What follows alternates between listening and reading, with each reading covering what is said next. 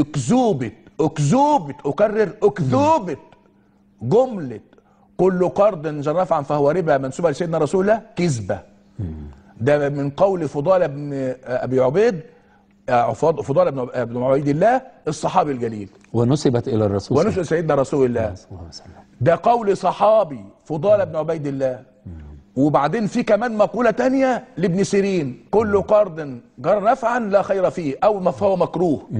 فهو مكروه. ادي جملة ودي جملة. ياخدوا جملة يسيدوها ويكذبوا على النبي ويقولوا النبي قال إيه استغفر الله العظيم يا ساتر. لا إله إلا الله. الحديث ده بالمناسبة أو الرواية دي المقولة دي لم تروى إلا في كتاب مسند الحارث بن أبي أسامة. الكتاب اسم- الوحيد اسم مغمور. آه. أيوه كتاب وحيد. مع إنها شائعة كما لو كانت في يعني طب أكثر أتحدى واحد يجيب لي الجملة. دي آه. من أي كتاب من كتب السنة؟ آه، يعني- نهائي.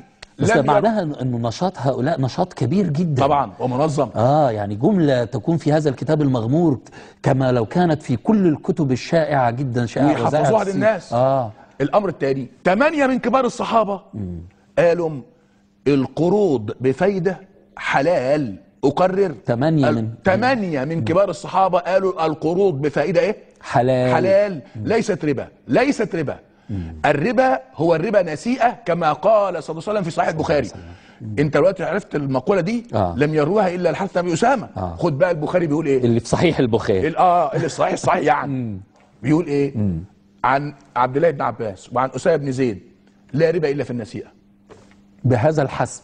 والرواية الثانية إنما الربا في النسيئة. كمان بهذا الحسم اللغوي؟ حصر. آه. مفيش ربا انسوا يا ناس. آه. مفيش ربا إلا في النسيئة. إيه هو النسيئة؟ صورة واحدة ملهاش تاني. كل دي تعرف تعرفها. مش غامضة بقى. آه. ما هو الحرام لازم يكون تعرف حضرتك حدثتنا بها لكن نرجو أن أن تعيدها مرة أخرى. هو الحرام يبقى غامض؟ ينفع؟ لا طبعا. لما ربنا يحرم علينا شيء يبقى غامض مجهول خصوصا كمان يعني تحريم الربا بتحذير رهيب. مش يجب يكون الحرام ده واضح يتضح للفلاح والعامل والحرفي قبل المثقف والدكتور والصيدلي. مثل جرائم القتل والسرقة والزنا. بالظبط. لازم يكون بنفس مستوى الوضوح قول لي في فلاح ما يعرفش يعني إيه قتل؟ لا طبعا في يعني فلاح ما يعرفش يعني إيه زنا؟ لا طبعا كلهم يعلمون في عامل ما يعرفش يعني إيه رشوة؟ عشان تعرف لازم تعرف إن الحرام لازم يكون واضح. واضح جدا.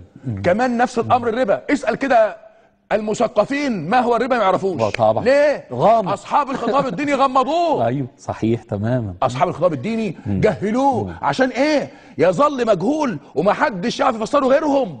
لا. الحرام لو كان ربنا حرمه يبقى لازم يكون واضح. زي القتل والسرقة والس- والزنا. والفحشاء المعروفة دي. والله وأنا عمري 16 عام وقفت في مسجد لأقول نفس هذه العبارة أمام شيخ يبدو أنه كان سلفي ولا أعلم. وقلت كيف تكون هذه هذا الربا جريمة كبرى مثل القتل والسرقة؟ وإلى الآن أنا لم أفهم عنه شيئا رغم شرحك الطويل. قلت هذا نصا. م? إيه بقى هو الربا النسيئة؟ عشان الناس آه، تتذكروا الربا النسيئة هو المباغتة. إن سيادتك تكون مدين ليا مثلا ب 10000 جنيه. المطلوب منك تردهم لي. مفيش اتفاق سابق مفيش أي اتفاق غير إن عليك كام؟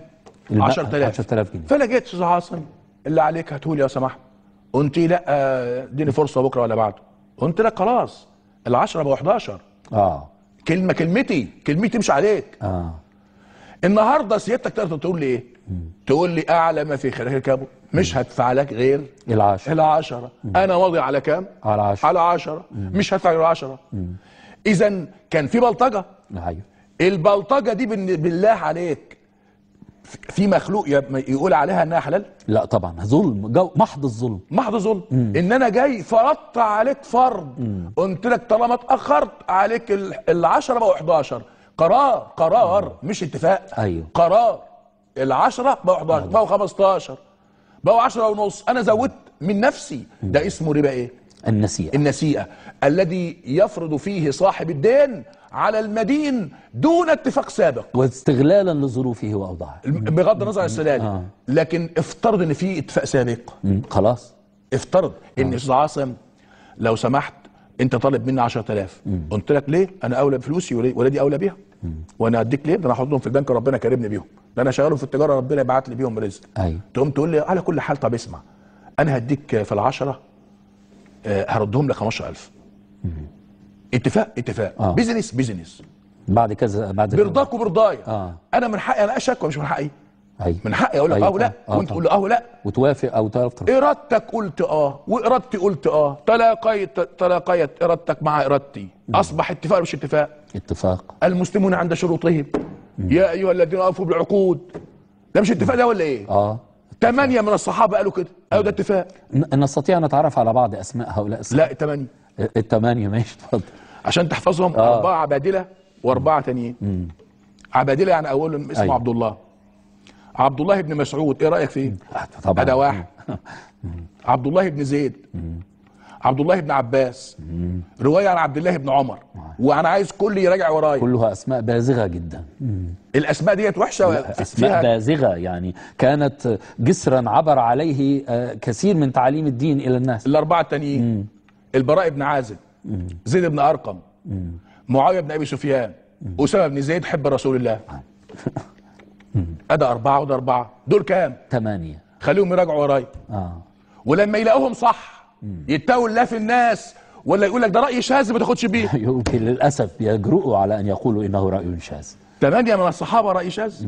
ويقولون ألم يكن رسول الله في الحديث الصحيح في سنة ضعف لكن اشتهر على ألسنتهم. أصحابي كالنجوم بأيهم اقتديتم؟ اهتديتم؟ أصحابي كالنجوم بأيهم؟ ما قالش بأكثرهم. خدوا بأكثرهم. ما قالش خدوا بالمشهور منهم بأيهم. بأيهم. اقتديتم. اهتديتم. ثمانية من الصحابة قالوا حلال اهو ما تسيب ناخد بيهم. وخد انت بالرأي التاني. فهمت قصدي؟ أيوه تمام. يا صاحب الخطاب الديني انت شايف ان القرض الذي يجر نفعا ربا شايفه كده؟ يا أخي حط فلوسك ما تاخدش أرباحها. سيبنا أنا اخد ارباحها ثمانية من الصحابة قالوا لي حلال. ما تسيبنا ناخد أرباحها. دخلك انت ولا انت حاقد عليا؟